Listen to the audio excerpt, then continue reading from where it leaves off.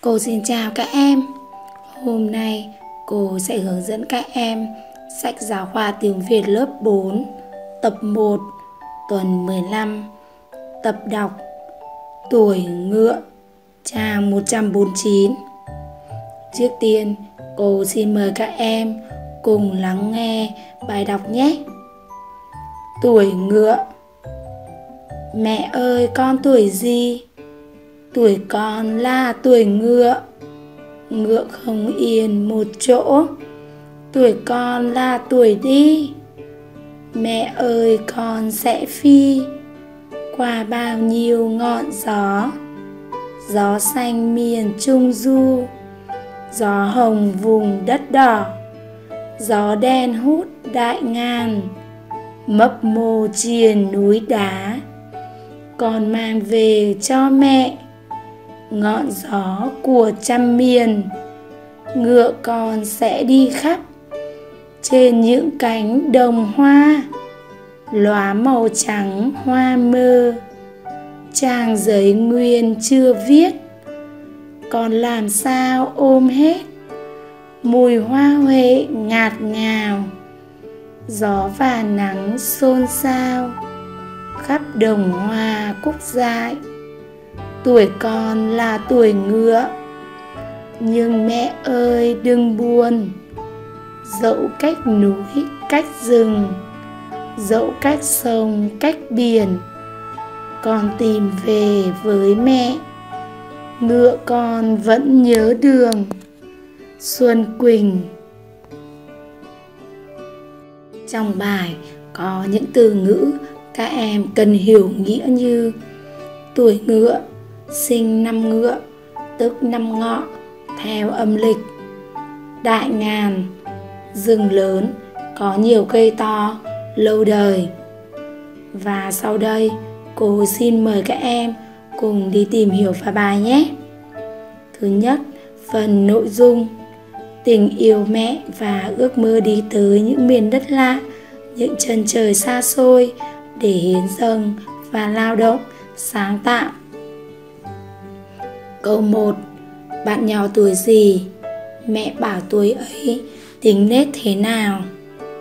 Bạn nhỏ được nói đến trong bài sinh vào năm ngọ nên có tuổi ngựa.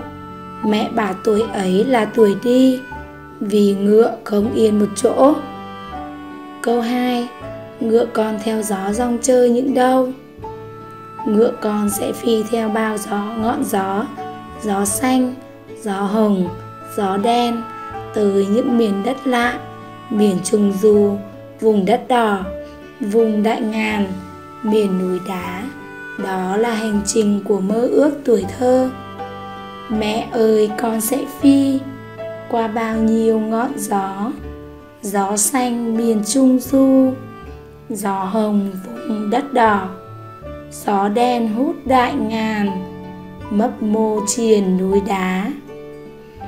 Câu 3 Điều gì hấp dẫn ngựa con trên những cánh đồng hoa? Trên những cánh đồng hoa, ngựa con như bước vào thế giới vô cùng hấp dẫn. Đó là những cánh đồng hoa, hoa mơ, hoa huệ, hoa cúc dại, là màu trắng của hoa mơ, là hương thơm ngạt ngào của hoa huệ, là gió và nắng xôn xao trên các cánh đồng cúc dại ngựa con sẽ đi khắp. Trên những cánh đồng hoa, lóa màu trắng hoa mơ. Trang giấy nguyên chưa viết, con làm sao ôm hết? Mùi hoa huệ ngọt ngào, gió và nắng xôn xao. Khắp đồng hoa cúc dại. Câu 4 trong khổ thơ cuối, ngựa con nhắn nhủ mẹ điều gì?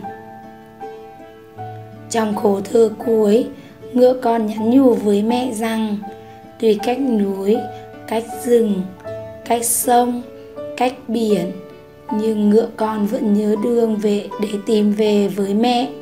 Lời nhắn nhủ ấy chứng tỏ Ngựa con rất nhớ mẹ và yêu mẹ. Ngựa con là một chú bé rất hiếu thảo.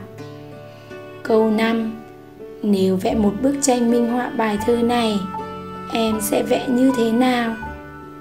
Nếu vẽ bài thơ thành một bức tranh, em sẽ vẽ thành một bức tranh rất lớn, có sông núi, rừng biển bao la, những cánh đồng hoa, có mặt trời mới mọc đỏ rực, có một chú ngựa tía đang phi xuống đèo. Và xa xa, cuối chân trời, là hình bóng người mẹ hiền. Câu 6 đọc thuộc lòng bài thơ đối với câu hỏi này, cô sẽ mời các em học thuộc bài thơ nhé. Vừa rồi, cô đã hướng dẫn các em bài tập đọc tuổi ngựa và cô chúc các em sẽ luôn học tốt nhé. Chào tạm biệt và hẹn gặp lại các em!